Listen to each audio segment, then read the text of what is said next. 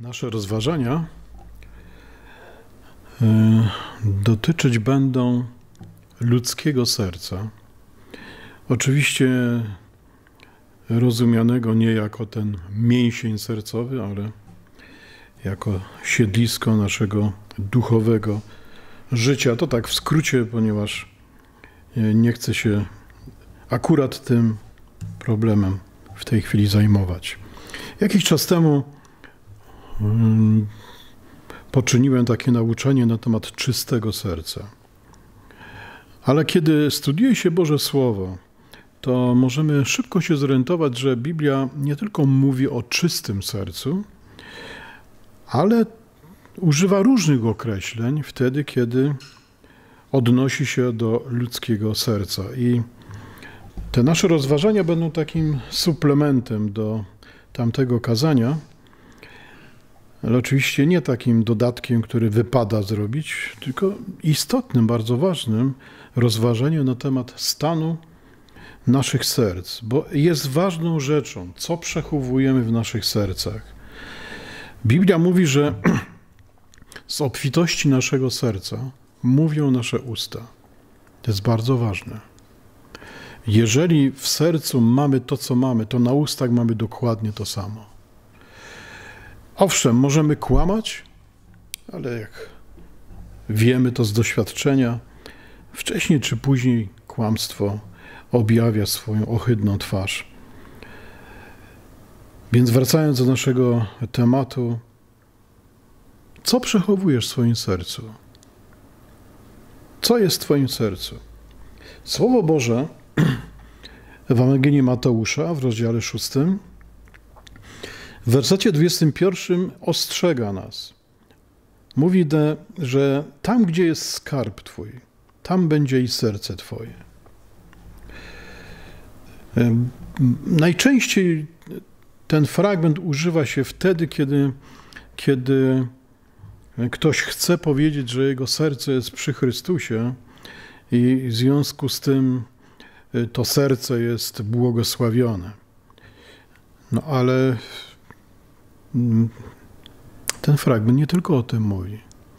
Ten fragment mówi o tym, że po pierwsze, każdy człowiek ma jakiś skarb, czyli ma coś, co jest dla niego cenne, ważne, czemu poświęca swoje życie, czemu oddaje się bez reszty, co tak naprawdę determinuje jego poczynania, jego decyzje, co sprawia, że kładąc się spać, ma to na myśli, budząc się rano, wraca do tego myślą. Właściwie można powiedzieć, że całe życie człowieka jest dedykowane temu skarbowi. Niebezpieczeństwo polega na tym, że przy tym skarbie jest serce człowieka, czyli cały człowiek. I wszystko jest w porządku, jeżeli serce człowieka jest, przez, jest przy Bogu. Bo wtedy rzeczywiście to serce jest błogosławione. Będziemy jeszcze mówili o tych cechach serca, więc na razie zostawmy to. Ale co jeśli to serce nie jest przy Bogu? Jeśli skarbem człowieka nie jest Boże Słowo? jeśli skarbem człowieka nie jest Jezus Chrystus? Jeśli skarbem człowieka nie jest wieczność u boku świętego Boga. Wtedy mamy, delikatnie mówiąc, pewien kłopot. Kłopot, który trudno w jakikolwiek sposób rozwiązać, ponieważ niestety nasze serce dąży do tego skarbu, który być może należy do tych przeklętych. Skorzystamy z wielu fragmentów Bożego Słowa, i to sobie trochę zrobię w porządku, żeby nie przeszkadzać sobie. Będziemy wiele czasu poświęcali na kartkowanie, no ale na tym polega nauczanie. Zobaczmy, co Biblia mówi na temat serca, jak go określa, i to w dwóch aspektach: tym pozytywnym i negatywnym. Oczywiście zaczniemy od tego aspektu pozytywnego, pozytywnego. O, o czystym sercu nie będziemy mówili, ponieważ już poświęciliśmy naprawdę wiele, wiele słów, istotnych słów. Zaczniemy od pewnego określenia pozytywnego, jak powiedzieliśmy wcześniej, a mianowicie list Jakuba, moment, przepraszam, list do Hebrajczyków 10:22 mówi nam wejdźmy na nią ze szczerym sercem, w pełni wiary. Dzisiaj mówiliśmy w poprzednim naszym rozważaniu o drodze, którą jest Chrystus, na którą chodzimy szczerym sercem. Szczerym sercem. Podobne określenie szczere serce znajdziemy w Kolosan 3:22 i w Rzymian 6:17. Szczere serce e, to serce prawdy. I sięgając do greki, znajdziemy to słowo alitia. Alitia. Serce, które niczego nie ukrywa. Czy masz takie serce, przyjacielu? Czy masz serce, które niczego nie ukrywa? Czy można powiedzieć, jesteś przezroczysty w relacji z Bogiem, w relacji z ludźmi? Czy takie masz serce? To jest niesamowite, jeśli człowiek ma takie serce, ponieważ taki człowiek po pierwsze jest bezpieczny, nie musi pilnować swoich ust, ponieważ z tych ust wychodzi autentyczna szczerość, ta sama, która jest w sercu. Nie musi się zastanawiać, w jakim momencie, jaką rolę odegrać, ponieważ zawsze jest tym szczerym, prawdziwym człowiekiem, który jest tym, kim jest. I tyle. Nie musi ubierać masek, nie musi się zabezpieczać, nie musi się zastanawiać nad mniejszym czy większym kłamstewkiem, które coś z jego życia musiałoby przykryć. Czy masz szczere serce? Szczere, prawdziwe serce. Zastanów się, droga bracie, drogie siostro, bo myślę, że niewierzący ludzie zupełnie ani nie rozumieją, ani nie chcą chyba nawet rozumieć tego, o czym dzisiaj tutaj mówimy. Inne określenie, które dotyczy naszych serc, znajdziemy w liście do Filemona. Króciut, króciutki list, a ciekawe określenie. Dwudziesty werset. Tak, bracie, życz mi, abym się Tobą radował w Panu pokrzep me serce w Chrystusie. Pokrzep me serce w Chrystusie. Ktoś powie, no cóż takiego nadzwyczajnego. Kochani, czy wiecie, jak wielu ludzi nie ma pokrzepionego serca? Czy wiecie, jak wielu ludzi żyje umęczonych, udręczonych, smutnych? Jakie jest Twoje serce? Czy ono jest pokrzepione? I następne pytanie, kto je pokrzepia? Czy jest pokrzepiane przez Boga, przez Boże Słowo? Jeśli jest pokrzepiane przez zakupy, przez wycieczki w czasy, wzrastające, rosnące, puchnące konto, to się w każdej chwili może to pokrzepienie zakończyć katastrofą. Ale jeśli Bóg pokrzepia Twoje serce, jesteś szczęśliwym człowiekiem. Sięgamy teraz do pierwszego listu do Tesaloniczan do rozdziału trzeciego i do wersetu trzynastego. I czytamy, aby serca wasze były utwierdzone, bez nagany. Dwie cechy serca. Po pierwsze, serce utwierdzone. Co to znaczy utwierdzone? Osadzone na fundamencie. Życie bardzo wielu ludzi nie jest osadzone na fundamencie. Życie bardzo wielu ludzi wymaga nieustannych starań o to, żeby się w ogóle utrzymać na powierzchni. Ale jeśli masz serce, które jest utwierdzone, utwierdzone oczywiście w Chrystusie, jesteś szczęśliwym człowiekiem. Serce beznagane. Kto może ganić Twoje serce? No oczywiście Bóg. bo Bóg zna Twoje serce. Żaden człowiek nie zna Twojego serca. Czy masz takie serce? Jeśli ono jest utwierdzone, to jest beznagane. Jeśli to Bóg założył fundament w Twoim sercu, to serce jest beznagane. To się wiąże ze sobą. I to jest piękne, że tak właśnie to wygląda. List do Kolosan. Sięgamy do trzeciego rozdziału listu do Kolosan, do wersetu piętnastego. I co czytamy? A w sercach waszych niech rządzi pokój Chrystusowy. Ludzie, czy macie serca wypełnione pokojem?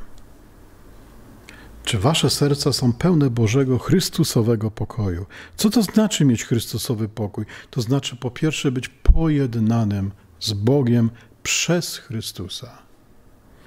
Pojednany z Bogiem przez Chrystusa. Co się dzieje w następstwie? Przychodzi duch pokoju, Duch Święty, który wypełnia nasze serca i mamy pokój z Bogiem. Pokój w Jezusie Chrystusie. List do Efezjan 1:18. Jak już się chyba zorientowaliśmy, naprawdę bardzo wiele fragmentów Bożego Słowa odwołuje się do ludzkiego serca. 1:18 i oświecił oczy serca waszego. Oświecił oczy serca waszego. Czy nasze serce jest w światłości? Tak, serce Bożego dziecka, serce ucznia Chrystusowego jest w światłości, jest w świetle.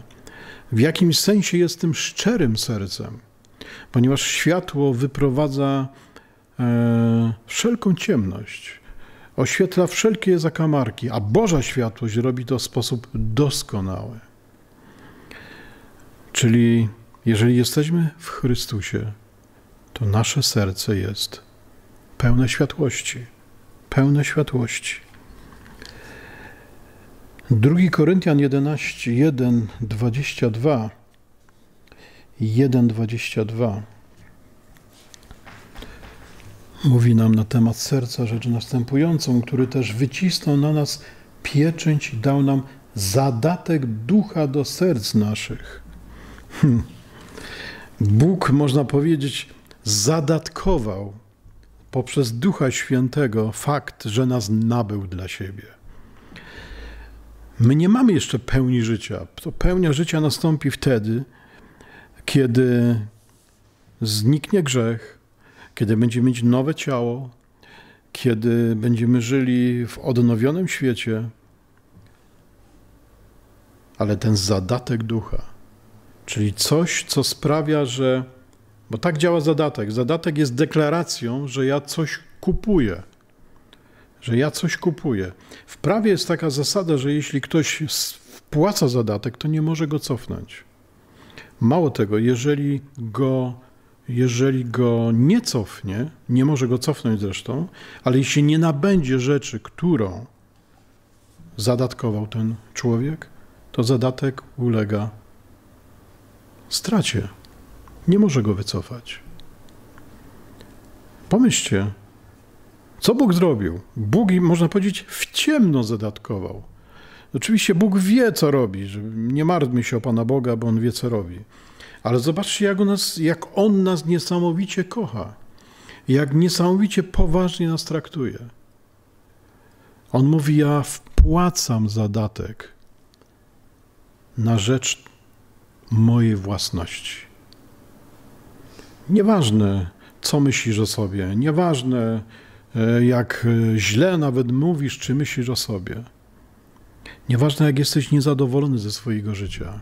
Bóg wyraził chęć, pragnienie, podjął decyzję, że kupuje cię takiego, jakim jesteś.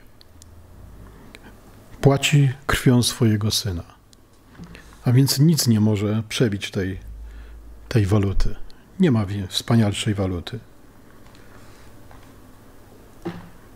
Mogę chodzić w swoim sercu, mając świadomość. Mogę, mogę chodzić przez całe swoje życie, mając w swoim sercu świadomość, że komuś na mnie zależy. Że ktoś ma mnie za kogoś ważnego. To bardzo pomaga w życiu. To pomaga nawet wtedy, kiedy ktoś nas krzywdzi, bo potrafimy z uśmiechem na to spojrzeć i powiedzieć: Chwała Bogu. Takie świadectwo mu krótkie złożę po ostatnich. E, po ostatnich wyczynach pewnych moich przeciwników, którzy zbesztali, zbluzgali mnie, zmieszali z błotem, oczywiście w ich mniemaniu, postanowiłem się na nich zemścić. I powiem wam, co zrobiłem. Zamówiłem nalepkę na mój samochód, dużą, 50 cm na 15 cm. Mniej więcej tak, tak. Z napisem. Nalepka będzie na tylnej szybie samochodu. Błogosławię tych, którzy mnie nienawidzą. I bardzo jestem ciekaw reakcji ludzi, którzy będą jechali za mną i będą się drapali po głowie. O co chodzi temu facetowi? To jest moja odpowiedź na nienawiść tych, którzy z jakichś powodów uznali, że trzeba mną pogardzić. Ale Bóg dał zadatek Ducha Świętego do mojego serca. Bóg mnie kupił w Chrystusie. Nie wiem, czy warto walczyć z Bogiem. I nie mówię tego pod swoim adresem. Drugi Koryntian 2,4 y, mówi o sercu, które jest zbolałe. Albowiem pisałem do was z głębi utrapienia i zbolałego serca, wśród wielu łez. Nie abyście byli zostali zasmuceni, lecz abyście poznali nader obfitą miłość, jaką żywię do was. Ktoś może powiedzieć, ale co pozytywnego jest w tym, że ktoś ma zbolałe serce? O tak, bardzo pozytywne to jest. Powiem wam dlaczego. Dlatego, że apostoł Paweł miał bolejące serce z powodu miłości, z powodu miłości. Miłość sprawia, że człowiek kocha innych ludzi nawet wtedy, kiedy go krzywdzą. I miłość sprawia, że, że pragniemy, aby ci ludzie poznali prawdę i sami zaczęli miłować Boga. Dlatego serce zawsze boli wtedy, kiedy widzimy ludzi, którzy sami siebie niszczą, którzy sami sobie robią krzywdę. Oczywiście oni są przeświadczeni, że swoim zachowaniem robią krzywdę komuś innemu, ale tak naprawdę sobie robią krzywdę. Ludzie, kochajmy się, kochajmy tych, na których patrzymy. Kochajmy tych, którzy czasami nas krzywdzą. Kochajmy naszych wierzących braci, wierzących, wierzące siostry, którym się noga powinęła. Serce powinno nas boleć, bo to smutne po prostu, że, że ktoś nie postępuje właściwie, zgodnie z Bożą wolą. I do tego chcę nawiązać, czytając fragment z listu do Rzymian, z dziewiątego wersetu, drugi, dziewiątego rozdziału, drugi werset, że mam wielki smutek i nieustanny ból w sercu swoim. Tak, czasami ten ból, o którym już mówiliśmy, przeradza się w smutek. Dlaczego Paweł miał smutek w swoim sercu? Dlaczego bolejące serce miał? Słuchajcie.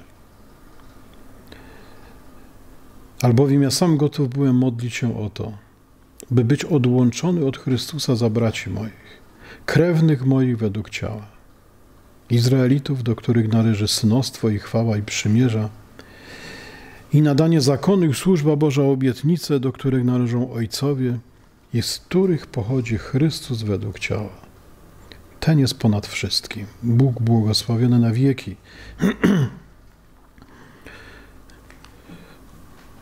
Drodzy przyjaciele, można mieć w swoim sercu smutek i nieustanny ból, kiedy patrzy się, jak ludzie niszczą swoje życie, jak ludzie odchodzą od Boga, jak nienawidzą czasami Boga. Mamy taki ból wtedy, kiedy głosimy Ewangelię swoim najbliższym. Tak jak Paweł bolał nad swoim narodem. No ale cóż, Trzeba zaufać Bogu, że Bóg, który wie wszystko, nad wszystkim też sprawuje władzę. I ostatnia z tych cech, które sobie wypisałem, a które dotyczą tych pozytywnych cech ludzkiego serca. Rzymian, list do Rzymian, rozdział 10, 9 do 10.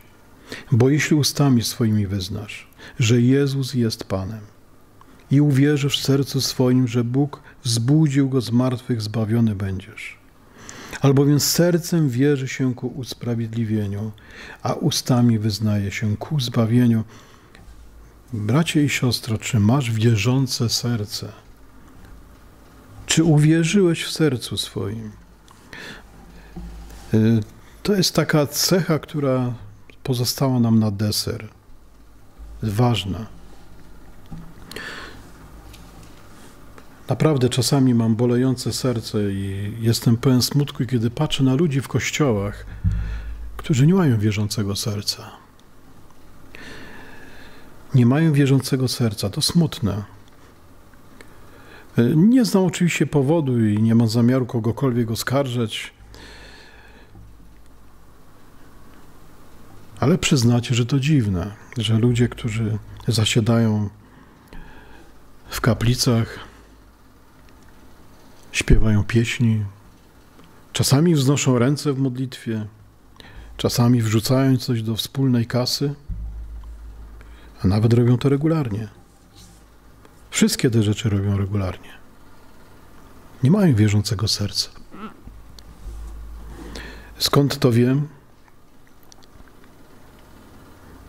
Biblia mówi wyraźnie: po owocach się poznaje. Tylko z tego to wiem.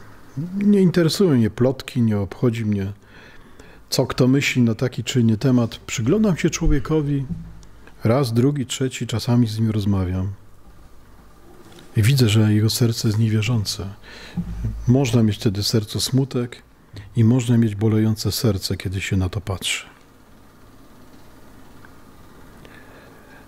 Przyjrzyjmy się teraz paru cechom negatywnym, można powiedzieć, które czasami niestety charakteryzują ludzkie serca. Jesteśmy przy liście do Rzymian, no to zobaczmy sobie do drugiego rozdziału listu do Rzymian. Może jeszcze nawet do pierwszego rozdziału. Pierwszy rozdział listu do Rzymian i mamy 21 werset. I czytamy: Dlatego, że poznawszy Boga, nie uwielbili go jako Boga, nie złożyli mu dziękczynienia, lecz znikczemnieli w myślach swoich, a ich nierozumne serce pogrążyło się w ciemności. Tu mamy aż dwie cechy. Negatywne cechy serca. Po pierwsze, serce nierozumne. Bóg dał nam rozum. I dał nam rozum, abyśmy używali go we właściwy sposób. Tak, żyjemy w świecie, kiedy zupełnie rozmyślnie władze na różnym poziomie starają się o to, żeby ludzie przestali myśleć. Człowiek, który nie myśli, jest niewolnikiem, którym bardzo łatwo się steruje. To przykre, ale prawdziwe. Ale Bóg dał nam rozum, abyśmy go używali. Rozumne serce to takie, które naprawdę potrafi mądrze się zachowywać. W tym przypadku chodzi o serce, które jest w stanie rozpoznać Boga.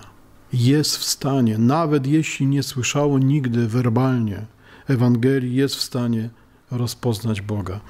Nie będę tego tematu y, rozwijał. Każdy może sobie pierwszy rozdział listu do Rzymian przeczytać, zobaczyć, że jest to możliwe. I jest druga cecha tego serca, o których tutaj, o których tutaj czytamy, mianowicie ciemność. Serce pogrążone w ciemności. Jeśli nie używasz rozumu do tego, aby badać rzeczywistość, to jesteś ciemniakiem. Po prostu żyjesz w ciemności. Twoje serce jest pogrążone w ciemności smutne, smutne i prawdziwe zarazem, że tak wielu ludzi dzisiaj żyje w ciemności. Werset 24. Dlatego też wydał ich Bóg na łup porządliwości ich serc ku nieczystości, aby bezcześcili ciała swoje między sobą. Czytamy o sercu pełnym porządliwości i nieczystości. I to jest w bardzo konkretnym kontekście. To jest w kontekście rozpasanego seksu, który za chwilę, za chwilę zamieni się w homoseksualizm. Serce pełne nieczystości, porządliwości. Jeśli masz porządliwe serce, przyjacielu, to jesteś na prostej drodze do związania. I to związania na bazie, na fundamencie, na podstawie seksu. Tak, to prawda. Cała kultura dzisiaj jest y, przepełniona seksem. Reklamy, filmy, różnego rodzaju etykiety, gazety, środki masowego przekazu też używają często właśnie seksu, tylko po to, żeby wiązać ludzi, rozbudzać ich porządliwość i wprowadzać do życia tych ludzi nieczystość. Czy można żyć inaczej? Oczywiście, że można. Nie trzeba temu ulegać.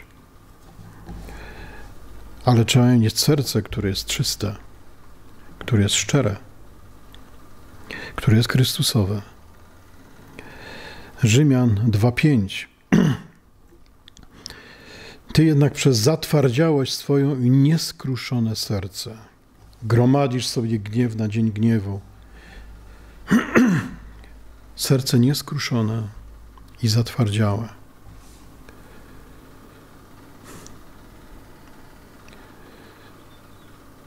E, czasami czytam, czytam rzeczy dotyczące II wojny światowej. Lubię historię, kocham historię, a ten, ten okres y, historii jest niezwykły poprzez fakt, że diabeł objawił swoją obecność w niezwykły sposób. I słucham czasami wypowiedzi ludzi, oprawców niemieckich, rosyjskich, także japońskich. I wiecie, co oni mówią? Że oni nie czują, żeby zrobili coś złego. Nawet wiele lat y, po wojnie, kiedy zbrodnie wszelkiego rodzaju wyszły na jaw, oni mówią, że oni nie mają potrzeby, żeby, żeby pokutować, żeby uznawać, że to, co robili, było złe. Oni tylko wykonywali rozkazy. Co ich to wszystko obchodzi? Jakie trzeba mieć serce? Jak kamienne serce trzeba mieć, żeby być takim człowiekiem? Kiedyś prorok Ezechiel powiedział o tym, że Bóg wyrwie z ciała człowieka serce kamienne i włoży w to miejsce serce mięsiste. I to będzie coś, co będzie dowodem na autentyczną przemianę życia człowieka. Jeśli masz serce kamienne, nienawidzisz Boga, nienawidzisz Słowa Bożego, nienawidzisz y, Bożych ludzi, nienawidzisz Kościoła. Y, w dzisiejszych czasach kiedy się rozglądam po Europie, widzę, jak wielka nienawiść jest do Chrystusa i do ludzi wierzących. Dlaczego? Dlatego, że ludzie mają kamienne serca, nieskruszone serca. Nic nie czują, za wyjątkiem własnych potrzeb. Człowieku, jeśli masz takie serce, ratuj się, póki możesz. A uratować możesz się tylko w jeden sposób: przyjść przed Boże oblicze i doświadczyć Bożej miłości, przebaczenia. Bożej miłości i przebaczenia.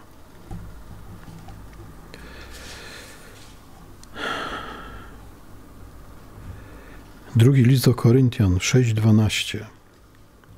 6:12.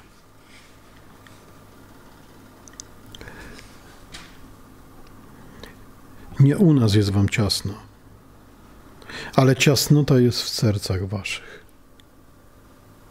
Ponieważ zaś należy się odzajemniać. Przeto jak do dzieci mówię, rozszerzcie i wy serca wasze. Cały fragment mówi o pojednaniu. Cały fragment mówi o tym, że Ewangelia jest słowem pojednania. Co to jest ciasne serce? To jest serce zajęte tylko sobą. To jest serce zajęte tylko swoimi sprawami. Serce niezainteresowane tym, co dzieje się na zewnątrz. Cały problem polega na tym, że takie serce jest jednocześnie kamienne, żyjące w ciemności, pełne złości, pełne nieszczerości. Jeśli masz ciasne serce, to nic ci nie pomoże, jak tylko Jezus Chrystus.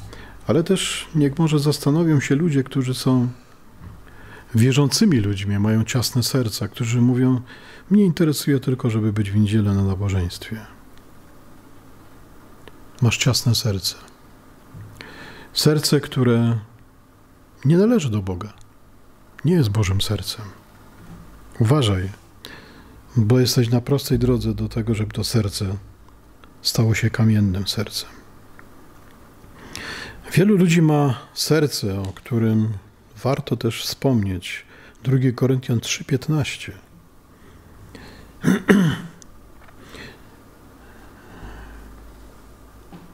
Tak jest aż po dzień dzisiejszy. Ilekroć czyta się Mojżesza, zasłona leży na ich sercu.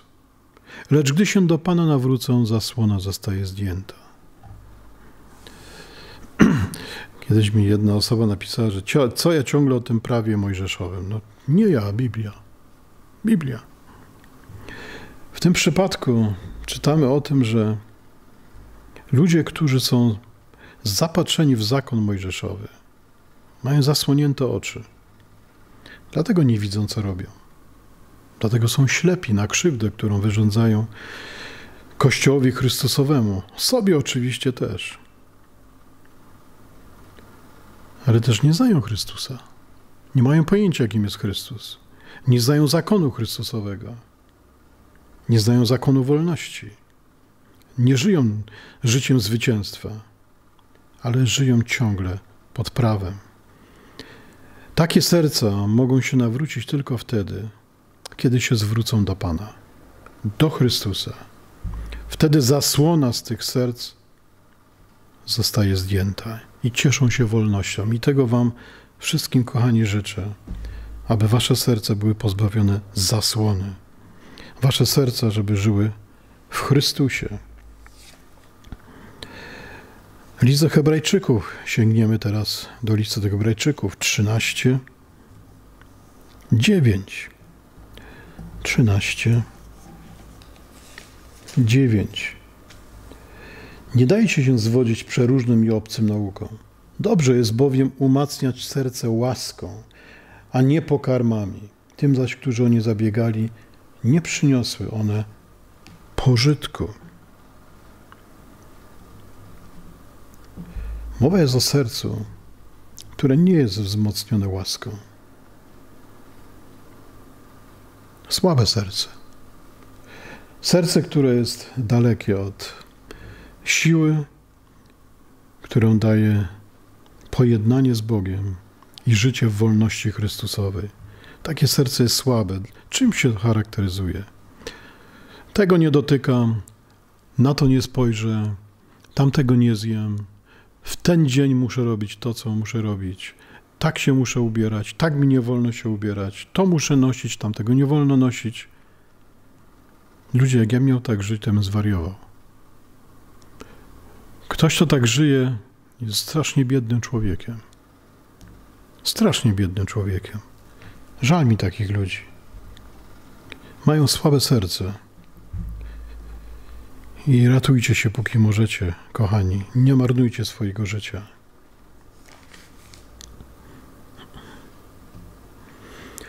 Jakub 1,26 mówi o tym, że można mieć oszukane serce. A przez kogo? Przez siebie. To my możemy oszukiwać swoje serce. Jak? Wmawiając sobie, że jestem pobożny, a używając jednocześnie języka w sposób haniebny. No cóż, to pod adresem pewnych ludzi też. Kto jest pobożny, ten panuje nad językiem. Wtedy nie oszukuje swojego serca. Nie miejmy serc, które łatwo oszukać. Niestety my sami to robimy. Innym sercem, które ma bardzo złą cechę i niestety jest popularne także w kościołach, to kłótliwe serce. 3.14 Jakub. Jeśli jednak gorzką zazdrość i kłótliwość macie w sercach swoich, aż wstyd w ogóle mówić, że Kościół może być kłótliwy, no ale może być. I niestety nie jest to czymś wyjątkowym, że w kościołach zdarzają się kłótnie. Jak możesz mieć, bracie, siostro, kłótliwe serce? No jak? To jest coś niepojętego. Jeśli masz kłótliwe serce, zrób z tym coś. Oczywiście, kiedy mówię coś, to mówię o nawróceniu do Jezusa Chrystusa. Jakub również y, w piątym rozdziale, w piątym wersecie mówi o bardzo ciekawej cesze, złej cesze serca. Żyliście na ziemi w zbytku i w rozkoszach, utuczyliście serca wasze na dzień uboju. Oczywiście Paweł, y, przepraszam, Jakub zwraca się przeciwko tym, dla których pieniądze, bogactwo są wszystkim. Można mieć takie utuczone serce. Co znaczy utuczone serce? To znaczy takie, które samo spełnia swoje potrzeby. Jest, y, ma takie zapasy y, tego, w co się utuczyło, że nie chce sięgać na zewnątrz. Nie potrzebuje Bożego prowadzenia i Bożej łaski. Obyś miał człowieku serce, które zawsze jest zależne od Boga, które zawsze potrzebuje Boga. Pamiętaj o tym to dla Twojego dobra. Czasami pewnych rzeczy Bóg nie daje. Tak, czasami Bóg pewnych rzeczy nie daje ludziom, tylko po to, żeby ci ludzie nie utuczyli swoich serc. Pierwszy list Jana, trzeci rozdział, dziewiętnasty werset. Potem poznamy, żeśmy z prawdy i uspokoimy przed Nim swoje serca. Uspokoimy przed Nim swoje serca. Możemy mieć serce zarówno uspokojone, jak też i niespokojne. Kiedy mamy spokojne serce? Kiedy jesteśmy z prawdy. Kiedy żyjemy w prawdzie. Kiedy prawda jest naszym przewodnikiem. Prawdą oczywiście jest Jezus Chrystus. Ale kiedy Jezus Chrystus nie jest naszą prawdą, to nasze serca są pełne niepokoju. 21 werset mówi: Umiłowani, jeżeli nas serce nie oskarża. Możemy mieć serca, które nas oskarżają. Bóg nie chce, żeby nasze serca nas oskarżały. My mamy żyć w pokoju Bożym, mamy żyć w pokoju Chrystusowym. Nie powinniśmy y, pozwolić na to, żeby nasze serca nas oskarżały. Jeszcze jedna bardzo ważna rzecz. To tak na deser sobie znowu zostawiłem. Powinniśmy mieć serca, które w jakimś sensie szanują Boże prawo. A mianowicie Rzymian, rozdział 2, 29 werset. Ale ten jest Żydem, który jest nim wewnętrzny i to jest obrzezanie, które jest obrzezaniem serca, w duchu, a nie według litery. Czy masz serce obrzezane przez Ducha Świętego? Czy masz serce obrzezane przez Boga? Co to znaczy? Obrzezane to znaczy, że jest wyraźny ślad przynależności do Boga. To oznacza, że nikt, kto widzi to obrzezanie, nie może się pomylić. To jest obrzezanie duchowe, tak. I te duchowe istoty widzą to obrzezanie. To obrzezanie oczywiście można sobie wmówić, ale jeśli jest prawdziwe, to Biblia mówi, że wtedy diabeł chodzi jak lew ryczący wokół, ale nie podchodzi. Nie może, nie może podejść, nie może nic ci zrobić. jeśli Twoje serce jest obrzezane dla Boga, żyjesz w pokoju i bezpieczeństwie. Ale jeśli masz nieobrzezane serce, a wmawiasz sobie, że należysz do Boga, no to diabeł może pochulać sobie mm, w Twoim życiu. Może kiedyś więcej na ten temat powiemy.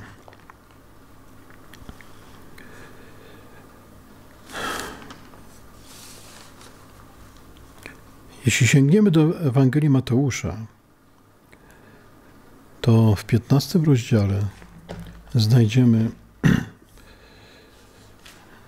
można powiedzieć, taką puentującą prawdę o naszym życiu, która pochodzi z naszego serca. 15-18. Ale co z ust wychodzi? Pochodzi z serca. I to kala człowieka. Mówiliśmy o różnych rodzajach serca. O sercu, które jest, ma te pozytywne cechy i te negatywne cechy. Mówiliśmy również o tym, że padło tutaj to określenie, że kiedy patrzymy na człowieka, możemy się o nim czegoś dowiedzieć, patrząc na jego owoce, na owoce, które wydaje. Owoce, które wydaje, pochodzą właśnie z jego serca. To nie są tylko owoce ust, ale słowo zawsze towarzyszy owocom. Zawsze.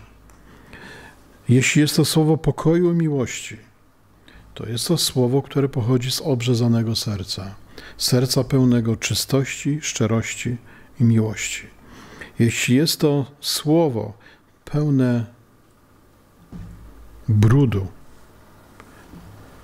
to nie jest to serce, to nie jest to słowo, które pochodzi od Boga. A więc człowiek taki wydaje owoc swojego nieobrzezanego serca, pomimo tego, że może chodzić w przekonaniu, że ma to serce obrzezane. Tak jak nie każdy, którego wsadzamy do wody, jest ochrzczony, tak nie każdy, który twierdzi, że jest obrzezany na sercu, jest obrzezany nim w rzeczywistości. To Bóg wie, czyje serce jest obrzezane. A my, patrząc na owoce, jakie człowiek wydaje, jesteśmy w stanie coś powiedzieć o sercu tego człowieka. Jeżeli należysz do Jezusa Chrystusa, jeżeli jesteś dzieckiem żywego Boga, to stać się na coś, o czym Chrystus powiedział. Tak jak Ojciec mój niebieski uczyni wam, jeśli każdy nie odpuści serca swego bratu swemu. Odwrotność tego, na co chcę zwrócić uwagę. Chrystus powiedział, że jeśli nie potrafimy wybaczać, nie potrafimy litować się, nie potrafimy wyjść naprzeciw tym, którzy w naszym mniemaniu czynią zło, jeśli nie potrafimy ich potraktować z miłością, to Ojciec Niebieski uczyni z wami to, co sami robicie z tymi ludźmi. Ludzie, ratujcie się i ratujcie swoje serca. Jeśli masz serce, które jest sercem Chrystusowym, potrafisz wybaczać, potrafisz kochać, potrafisz o innych ludziach, nawet o swoich wrogach, mówić z ogromnym szacunkiem, z należną tym ludziom atencją, bo ci ludzie są stworzeni przez Boga i zasługują na szacunek. Zasługują na szacunek. Tego się powinniśmy uczyć od Chrystusa. Właśnie tego. I nie tylko tego zresztą. Niech Bóg nam błogosławi, niech Bóg dotyka naszych serc i niech Bóg sprawi, że nasze serce będą naprawdę ciche i pokorne, ukojone przez obecność Chrystusa.